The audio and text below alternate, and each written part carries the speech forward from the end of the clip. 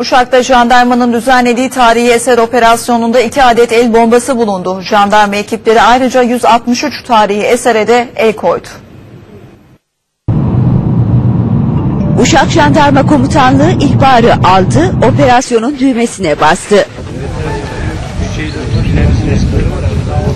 Bu kez hedefte tarihi eser kaçakçıları vardı. Operasyonda evin bahçesi didik didik arandı. Bahçede çeşitli dönemlere ait toplam 163 parça tarihi eserle 2 adet savunma tipi el bombası bulundu. El bombalarını şahısların nereden temin ettiği araştırılırken zanlıların bombaları tarihi eser kazılarında mezarları patlatmak amacıyla kullandıkları öğrenildi. Olayla ilgili iki kişi gözaltına alındı.